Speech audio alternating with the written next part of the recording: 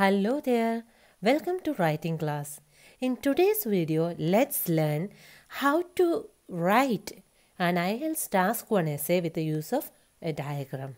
So let's get started. See the diagram you see over here.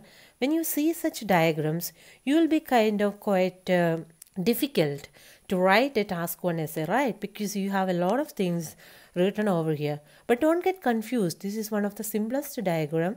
And once you understand what this diagram exactly means, then it will be really easy for you to write the write your essay. And more than that, you just need really 150 words. Okay, so let's see how you can write easily a task one essay just using a simple diagram. See what it is given here. It's about a solar energy.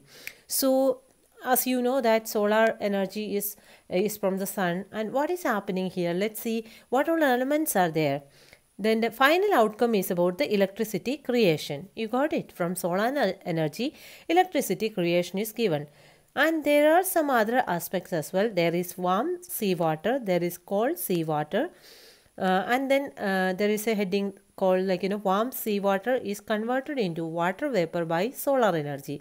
And there is a temperature difference is given.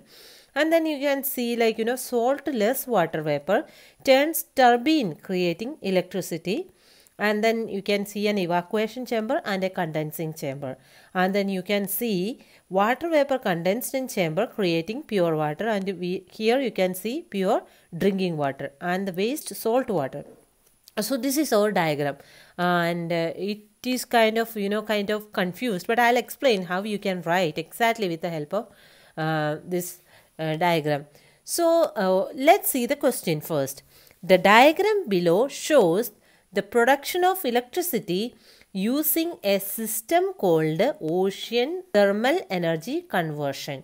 So this is about a, uh, a production. As you can understand, this is how it is manufactured. Production of electricity using a system. A particular system is used for the production of electricity. That system is called OTEC. That means Ocean Thermal Energy Conversion. You got it.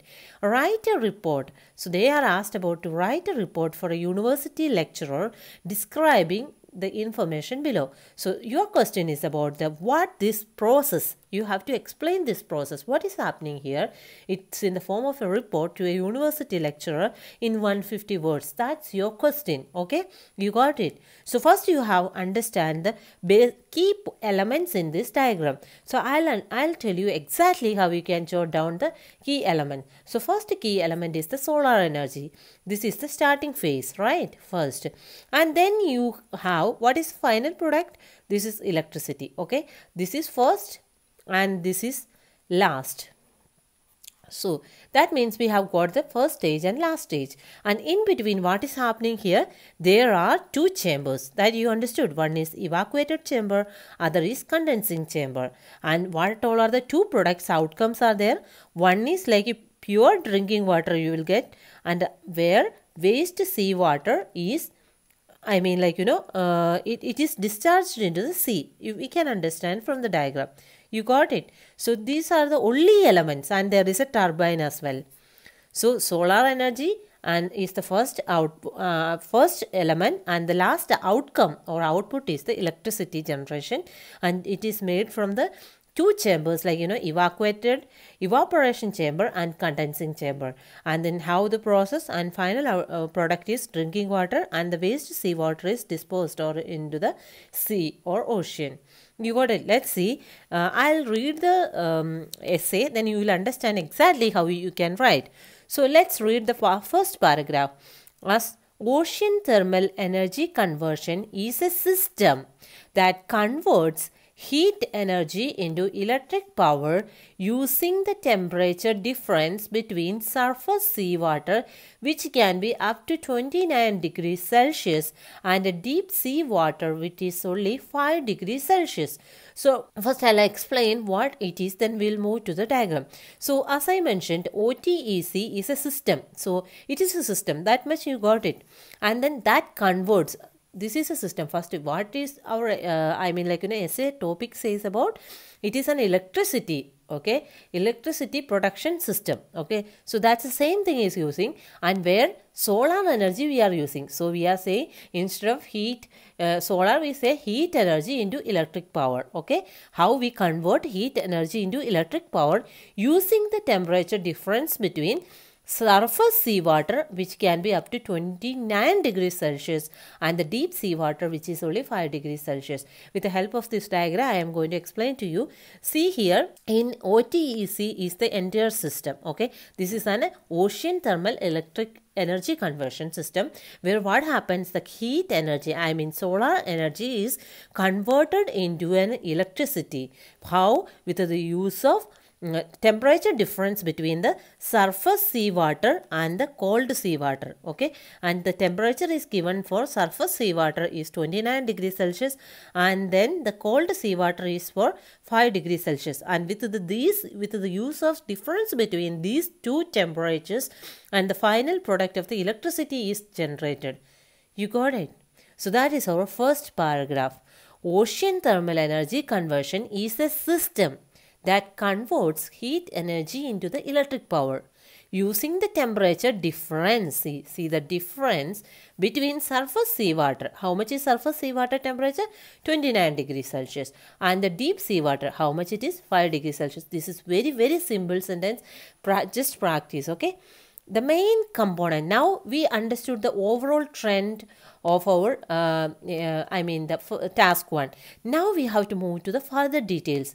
All my uh, videos i always mention that you have to first write your main trend i mean overall trend of your essay and then you have to move to the main points. You got it? So let's move to the main points. So the main component what is the main component of the system this is a system as i mentioned are an evacuated chamber, a turbine and a condensing chamber. So first you have to give what is the condense. So what, how many condense are there? Three condense. One is the evacuation chamber, second is a turbine and third is a condensing chamber. So our first part is exactly clear with your writing. You got it? The solar energy of the sun heats up the surface water and this warm water is introduced into the evacuated evaporation chamber where it boils. So let's move to the diagram and I'll, I'll explain with the help of this diagram.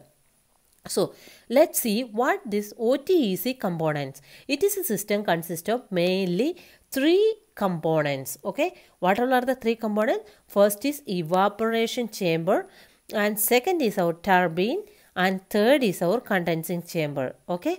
With these uh, three elements we are going to generate electricity okay? That just understand in simple terms okay? So the first paragraph starts with the main component of the system are evacuation chamber a turbine and a condensing chamber. Always starts with an article a okay? And uh, uh, where uh, E an evacuation uh, evacuated evaporation chamber, a turbine and a condensing chamber. That's your main component. So what happens? What is the first stage? Here it what happens like you know when the energy comes from the sun and it heats up the surface water. See here the energy level is heated up because from sunlight the light is coming and the top water I mean surface water is both getting heated okay then what once it is getting heated and this warm water is introduced into the evacuator you just see the diagram exactly see from like this and it moves to this way. Got it? And then it directly goes to the evapor evaporation chamber. Okay then where it boils here it is boiling is going on then what happens? From there it moves to up and goes to the turbines okay? And then this much you understood how it is going like from the sun top water i mean surface water from the sea is boiled and it moves to the evaporation chamber where it boils and it moves to the turbine okay so let's move to the essay then the solar energy of the sun heats up the surface water and this warm water, water is introduced to the evaporation chamber where it is boiled. So this exactly explains how this water is boiled and how the boiled water enters into the evaporation chamber. Okay. As it boils, the salt is deposited and the water vapor is generated. So as you know that like once if it is generate, uh, I mean like you know, um, uh, this water is heated or it boiled, then water vapor is generated and salt is deposited. Let's move to the diagram first, then we'll understand. Like once this heat water uh, boiled water is introduced into the evaporation chamber. Okay as you can see. And then there is what happens this there is in sea water there is salt. Okay then this salt is deposited. You can see from the diagram how this salt is deposited. You got it? And the remaining water i mean the water vapor moves to the turbine. So that's what i explained over here.